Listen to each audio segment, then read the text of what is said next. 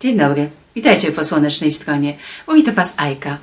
Dzisiaj przychodzę do Was z takim odrobinę lżejszym, bardziej kojarzącym się z wakacjami tematem, czyli chciałabym porozmawiać z Wami o tym, czy wciąż jeszcze warto uczyć się języków obcych.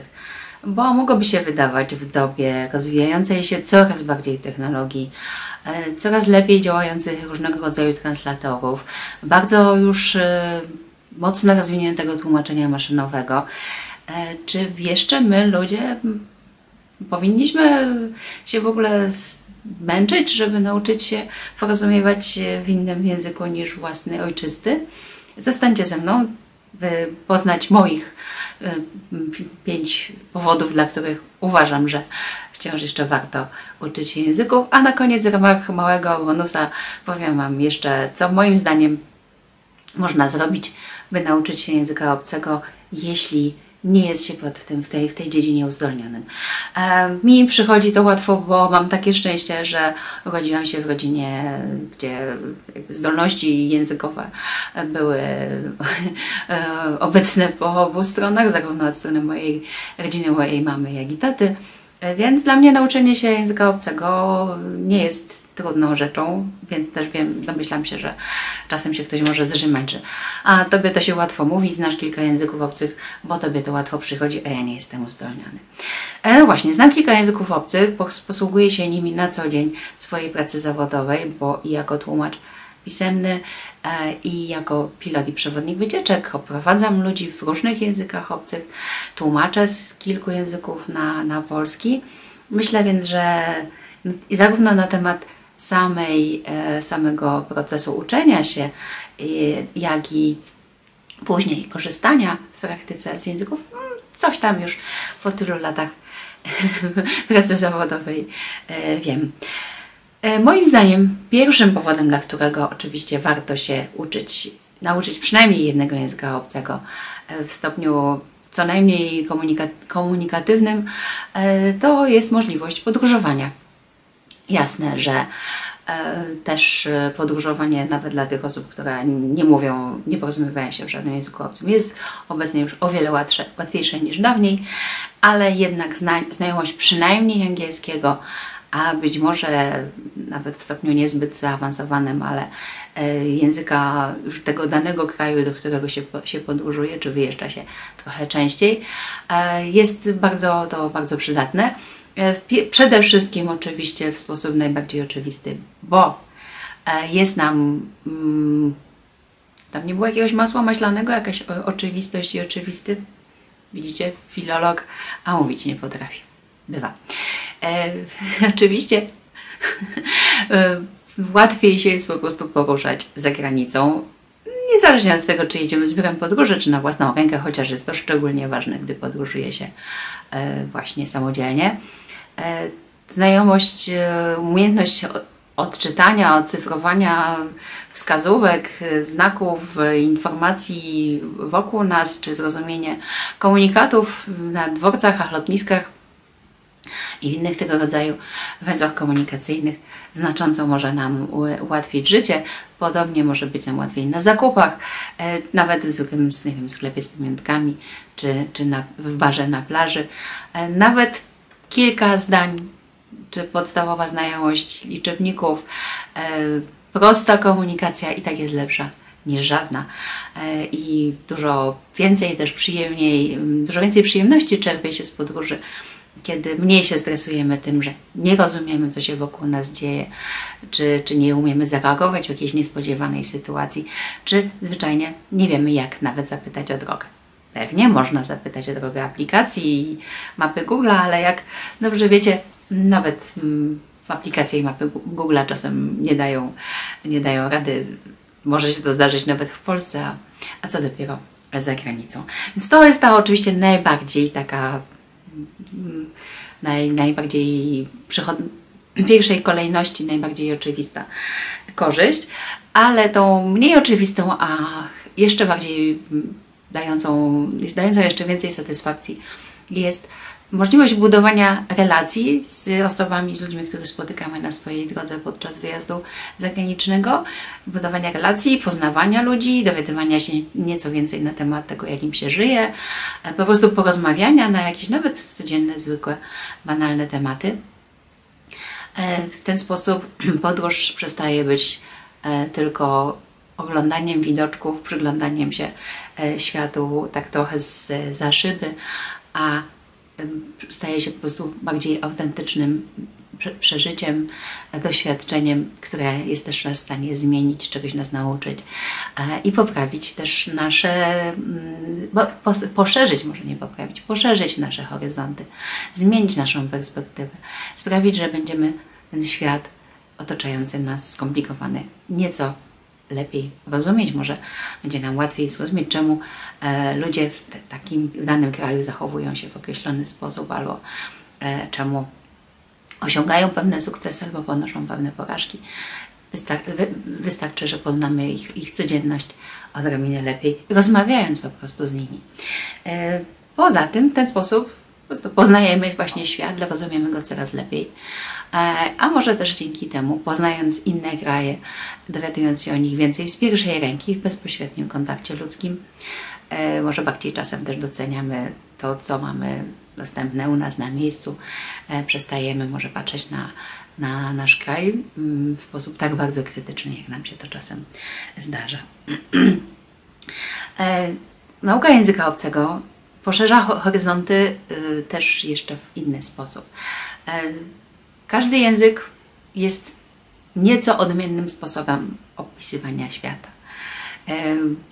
Mamy, wszystkie języki oczywiście mają wiele cech wspólnych, pewnych struktur czy sposobów, e, pewnych struktur, elementów nie da, się, nie da się ominąć w komunikacji, ale każda, każdy kraj, każda nacja i każdy język pewnych niuansach jednak się różnią.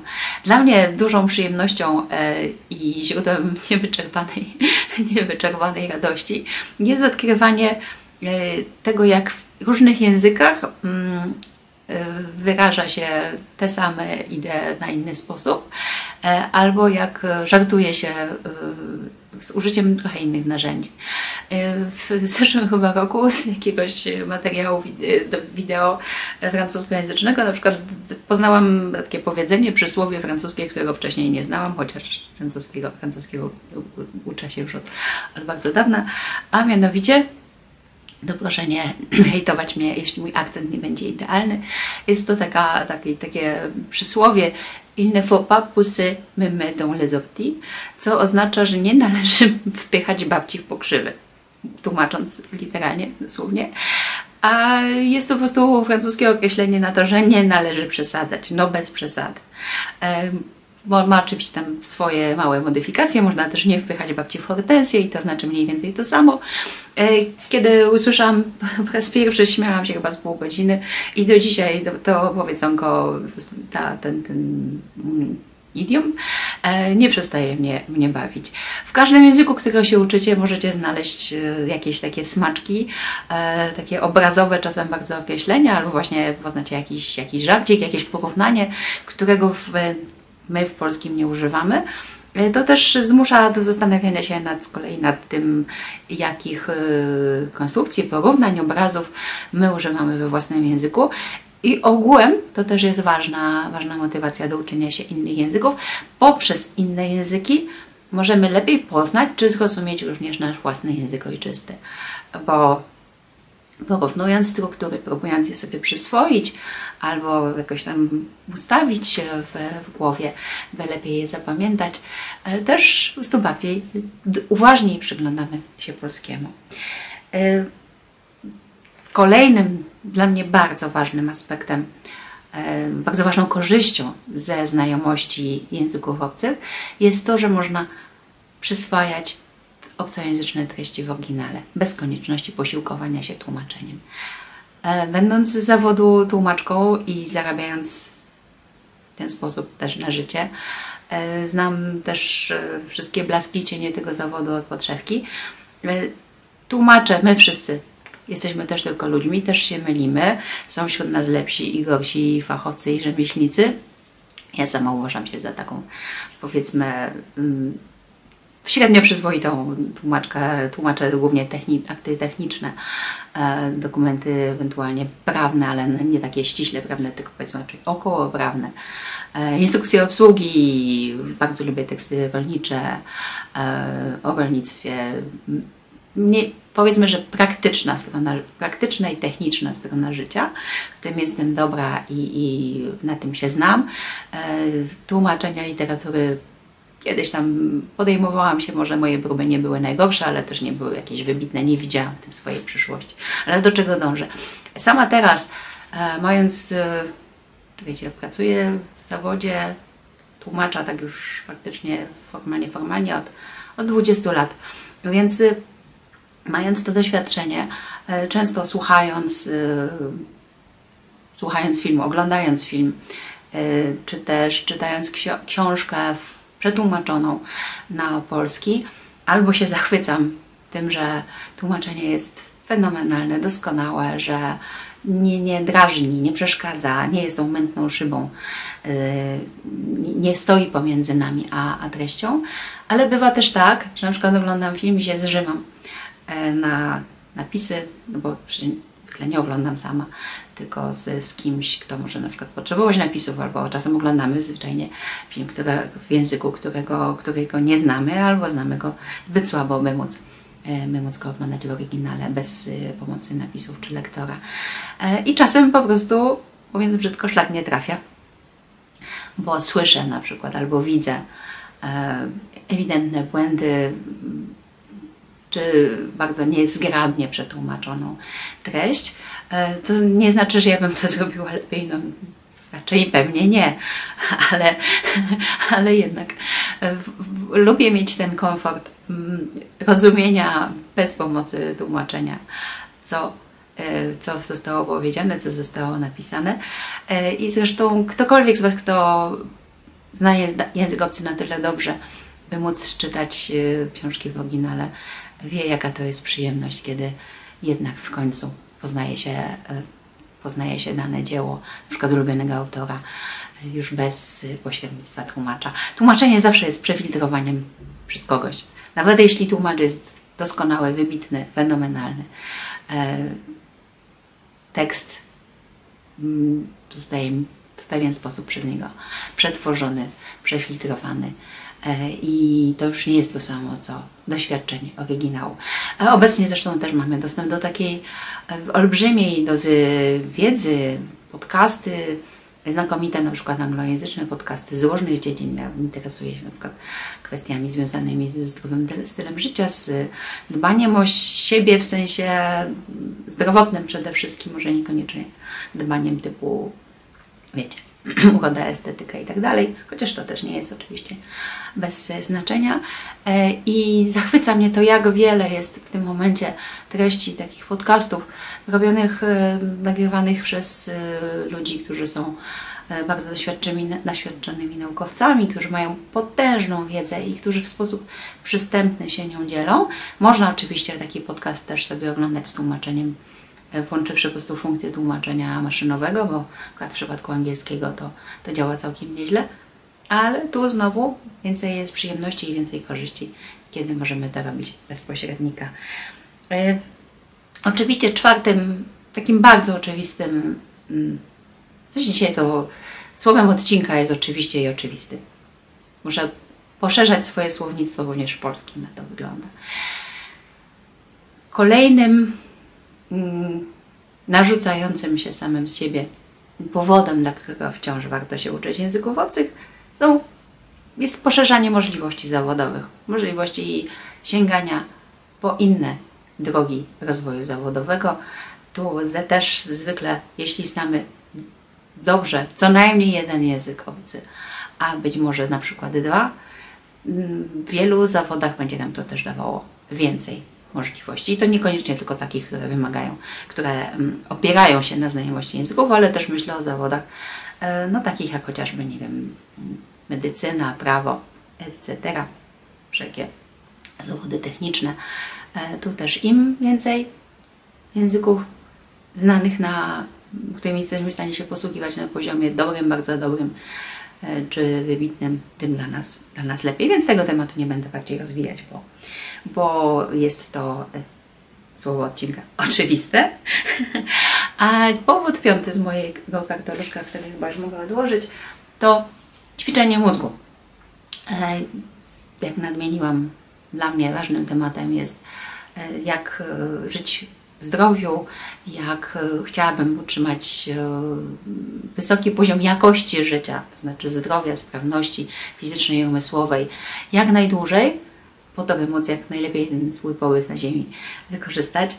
E, I mam świadomość, że dbanie o zawartość naszej czaszki jest niezwykle ważne. Im elastyczniejszy, im bardziej sprawny jest nasz mózg, na tych wcześniejszych czy środkowych etapach życia, tym większe szanse, że jeśli dożyjemy starości, e, nie, będziemy, nie będzie nam zagrażała demencja, a nawet jeśli nas dopadnie, jeśli będziemy cierpieć na jakąś chorobę degeneracyjną, która sprawi, że nasz mózg, nasz mózg będzie tracił swoją sprawność, to z im wyższego poziomu tej sprawności będziemy schodzić, tym dłużej będziemy jednak jakoś ze światem się komunikować i będziemy w stanie um, radzić sobie nawet w przypadku choroby, e, która może być zupełnie od nas niezależna, która może po prostu się zdarzyć i, i, i tyle. Więc y, nauka języka obcego jest tym mocnym, dobrym, intensywnym ćwiczeniem mózgu, zwłaszcza w przypadku języków, które posługują się na przykład innym alfabetem niż, niż nasz. E, więc y, no, na przykład wiem, jakim dużym wysiłkiem było dla mnie nauczenie się języka, że, jakiś tam na pod, podstawowym poziomie języka greckiego. I pierwszym, pierwszym tym, pierwszą tą przeszkodą do pokonania było przedarcie się przez naukę alfabetu, ale z drugiej strony wiem, jak bardzo wtedy mi to dużo dało y, jako takie mocno stymulujące y, mózg ćwiczenie. To są moje powody te, które z mojej perspektywy uważam za ważne, e, dla, dla których warto jest wciąż jeszcze, pomimo rozwoju technologii, uczyć się języków obcych, tym bardziej, że nawet najlepszy, e, najlepszy automat, najlepszy komputer jednak e, na razie jeszcze przecież no, w niektórych dziedzinach może, ale, ale wciąż jeszcze ta, ta mm, oko, oko ludzkie, kontrola przez człowieka, no nawet tak jak w mojej pracy, że kiedy w tłumaczeniach e, tych, które robię, czyli głównie dla Unii Europejskiej, dla instytucji unijnych, bardzo mocno podpieramy się, współpracujemy z, z maszynami. Sporą część pracy pomagają nam wykonać maszyny, tłumaczenie maszynowe, ale my, tłumacze, ludzie, wciąż jeszcze sprawdzamy tekst po maszynie, wciąż jeszcze go poprawiamy, dopieszczamy, sprawdzamy, czy maszyna jednak się nie pomyliła, tak samo jak człowiek się myli, maszyna jeszcze też czasem może zrobić głupotę, e, więc e, wciąż jeszcze obecność człowieka w całym tym łańcuchu na szczęście jest potrzebna. A obiecałam na koniec, że podpowiem, co moim zdaniem można robić, żeby nauczyć się języka, e, jeśli się jest osobą, która jest naprawdę, w której przychodzi to z trudem, jeśli się nie ma zdolności językowych. Tam, gdzie nie ma zdolności, potrzebna jest regularna, systematyczna praca. Oczywiście zdolność, posiadanie zdolności, łatwości uczenia się e, też w tej pracy, z tej pracy nas nie zwalnia, tylko wtedy po prostu przychodzi nam to szybciej, łatwiej. Nie, nie wymaga tak wiele wysiłku, tak, tak wiele potu, krwi i łez. Natomiast im trudniej jest Ci się uczyć języka obcego, tym ważniejszy będzie właśnie element systematyczności. Bardzo ważne będzie, by językiem w miarę możliwość otaczać się na każdym kroku, bo się w nim starać zanurzyć. Oczywiście nie zawsze jest możliwość po prostu wyjechać za granicę, żeby bo wtedy przychodzi to czasem no po prostu samo z siebie, nie mamy innego wyjścia, jak się języka nauczyć. Ale im bardziej się ten, tym językiem otaczasz, im częściej masz z nim kontakt na co dzień, tym będzie Ci łatwiej e, i tym, tym jednak ten proces nauki będzie przebiegał płynniej. Czyli najlepiej pracować codziennie nad językiem. E, najlepiej jest uczyć się tylko jednego na raz, jeżeli się nie ma zdolności. Osoby zdolne mogą sobie pozwolić na uczenie się dwóch języków równolegle. Ale jeśli tych zdolności nie posiadasz, to nie kombinuj, skup się na jednym, na przykład załóżmy, niech to będzie ten angielski, który jest, no oczywiście wciąż jest tym e, najpopularniejszym językiem, który, który do komunikacji się e, na świecie e, się przydaje. Ucz się codziennie, nie, nie musi to być długo, wystarczy 10-15 minut, ale każdego dnia. Niech to będzie nawet jedno, kilka ćwiczeń gramatycznych. Ale oprócz tego, że będziesz aktywnie uczyć, ćwiczyć, poznawać nowe konstrukcje, wykonywać ćwiczenia, to także dobrze by było mieć możliwość ćwiczenia konwersacji. Coraz więcej jest możliwości także z wykorzystaniem internetu, by, by móc nawet z osobami z innych krajów się, się kontaktować i po prostu z nimi rozmawiać, rozmawiać i jeszcze raz, albo przynajmniej próbować rozmawiać. E, oglądać filmy, słuchać podcastów, to już właśnie zgodnie z, z własnymi zainteresowaniami. E, pochłaniaj, staraj się pochłaniać treści które Ciebie interesują, w tym języku, którego się uczysz. Może mogą to być seriale na Netflixie, mogą to być filmy na YouTubie, może to być słuchanie piosenek, czytanie powieści, y, nawet jak najbardziej korzystne jest czytanie wersji uproszczonych do momentu, kiedy nie jesteśmy w stanie czytać już tekstów w żaden sposób nie, nie przetworzonych na potrzeby osoby uczącej się. E, rób to jak najczęściej e, i staraj się pochłaniać materiały, osłaniać, e, otaczać się materiałami, które Cię będą po prostu interesować. Czyli na przykład jeśli lubisz, nie wiem, lubisz gotować, oglądaj programy kulinarne, na przykład w wydaniu angielskim. Oglądaj, nie wiem, tam Jamie'ego Oliviera, czy innych, czy inne masterchefy. Nieistotne co to będzie, niech Cię bawi, niech Cię wciąga. E, w miarę możliwości, jak e, jeżeli możesz oglądać na przykład wersję audio angielską z angielskimi napisami, na przykład spróbuj tego. E, internet czy, czy platformy streamingowe oferują nam takie możliwości.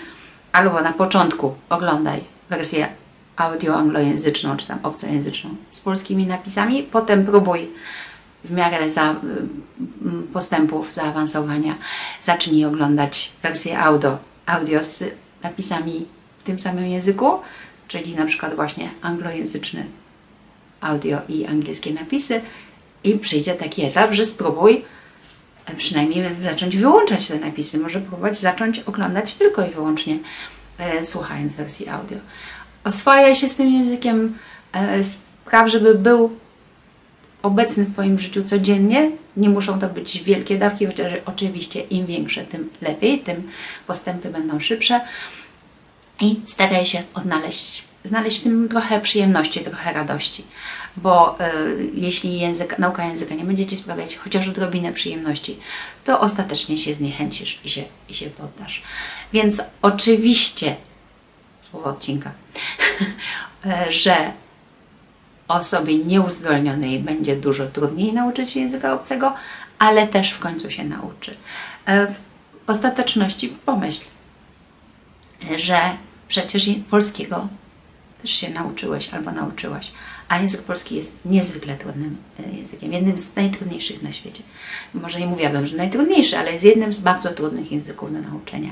I skoro znasz polski, posługujesz się nim lepiej lub gorzej, mówisz, piszesz, rozumiesz, to będziesz w stanie się nauczyć i jednego, i innego języka obcego, przynajmniej jednego. A jak nauczysz się jednego, e, do takiego poziomu, żeby się w nim w miarę płynnie i swobodnie komunikować, to może się odważysz nauczyć kolejnego.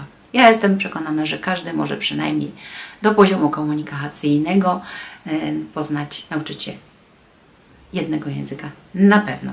A reszta no to już taki, to już w zależności od chęci i możliwości. Mam nadzieję, że Was ten materiał zaciekawił. Dziękuję za to, że spędziliście dzisiaj ze mną ten czas. Podzielcie się proszę Waszymi przemyśleniami, doświadczeniami.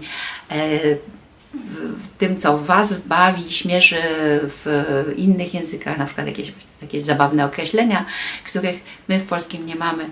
E, jestem otwarta na wszystkie Wasze, na wszystkie, na wszystkie wasze mm, spostrzeżenia i myśli, którymi chcielibyście się ze mną podzielić, e, ale oczywiście także podzielcie się z, głównie na, na potrzeby innych y, oglądających ten kanał waszymi patentami na naukę języków. Może macie jakieś sprawdzone aplikacje, mm, e, dobre strony. Oczywiście wiadomo, są rzeczy, które są oczywiste, jak du Duolingo. Ja nie wiem, co dzisiaj jest tym oczywistym. Zaczynam się sama denerwować. Chyba położę sobie, sobie będzie ban na używanie oczywiście i oczywiste przez najbliższe tygodnie. Zobaczymy. Ale coś z tym trzeba zrobić, bo zaczyna to być męczące. Dobra, kończę. Kończę, bo chyba z tego powodu dłuższych przerw w nagrywaniu, jak już się dorwała do aparatu, to się nie może, nie może oderwać. Trzymajcie się ciepło i bawcie się dobrze, cokolwiek robicie. Widzimy się za niedługo. Pa!